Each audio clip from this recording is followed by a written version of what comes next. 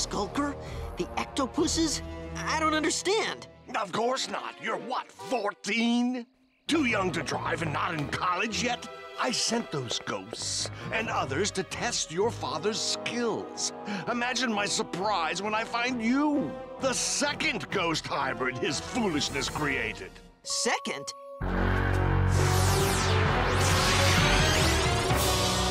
You! I'm going ghost! Going ghost!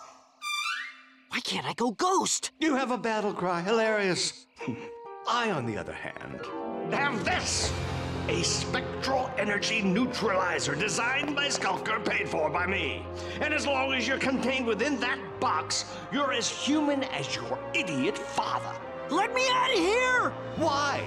So you can go back to stumbling through your adolescence, desperately trying to get control of your powers? Powers, by the way, that I've had for 20 years. I have experience, my child.